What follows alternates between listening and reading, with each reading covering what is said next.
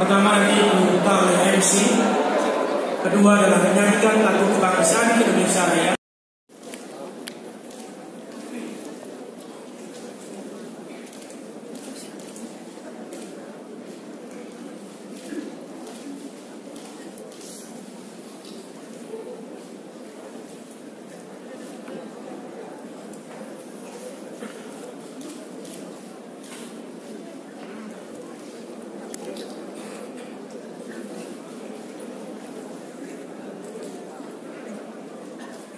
Silakan kembali ke tempat semula.